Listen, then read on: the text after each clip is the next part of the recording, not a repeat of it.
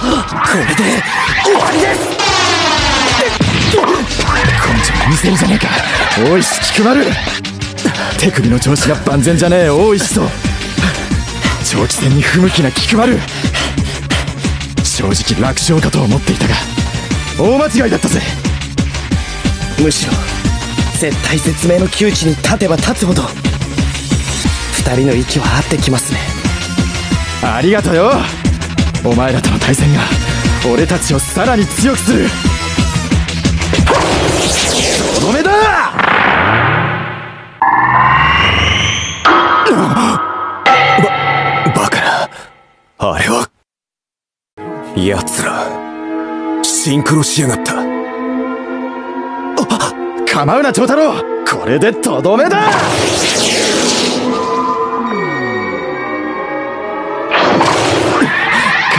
アイコンタクトもなしでなんだこのボールの重さ。視覚がまるでね。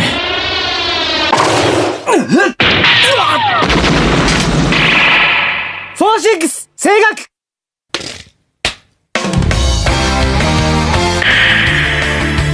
笑わせるな。なんて威力。シンクロ絶対絶命のピンチにのみ稀に起こりうるダブルスの奇跡。自分たちでやろうと思っても到底できるものではない。窮地にあってパートナーをどこまでも信頼したプレーに徹する。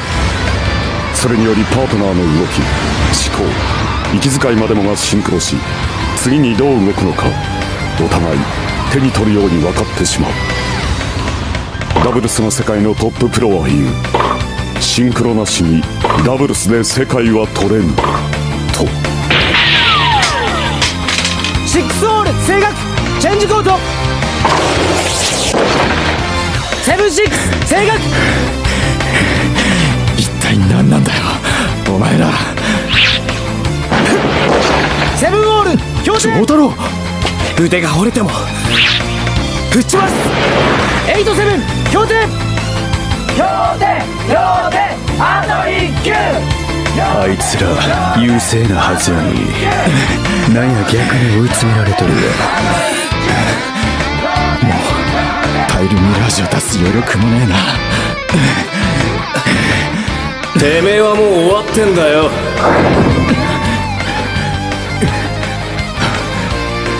ただダブルスでならてめえの努力報われるかもな。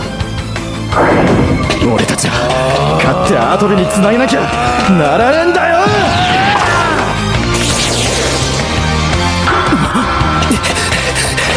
長太郎死んでも止めます!おいしい。ずっと一緒にテニスやろうな。もちろんだ